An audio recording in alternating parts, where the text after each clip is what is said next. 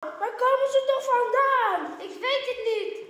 Ik ben van af. Ze moeten weg. De leerlingen van basisschool De Bosrank in Hoofddorp moesten begin dit jaar afscheid nemen van hun geliefde meester René Jungerius.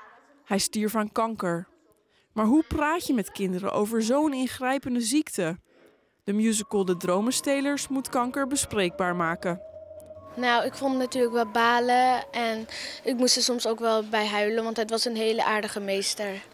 En dan vind ik het natuurlijk jammer dat hij is overlijden. Wij hebben juist nu ervaren dat uh, door dit uh, overlijden van uh, deze meester, hoe belangrijk het is om als klas zijnde, als school zijnde over dit moeilijke probleem te praten. En daarom was het des te meer een reden natuurlijk om dit initiatief te, te steunen. Want we hebben zelf ervaren hoe belangrijk het was.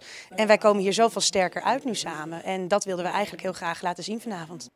Na veel oefenen stonden de leerlingen van de Bosrank maandagavond in de Meerse klaar voor de bijzondere voorstelling. Het heet de Dromenstelers. Het gaat over ziekte wat moeder heeft. En die moeder die, um, die wil er vanaf. Uh, we noemen het woord kanker niet in de musical, maar het wordt wel op die manier wordt het eigenlijk uh, symbolisch weergegeven. En dat noemen we de dromenstelers. Ik hou van je, Tineke. Ik hou van jou, Theo. Het blijkt ook dat juist de kinderen um, veel meer bij hun emotie kunnen zitten.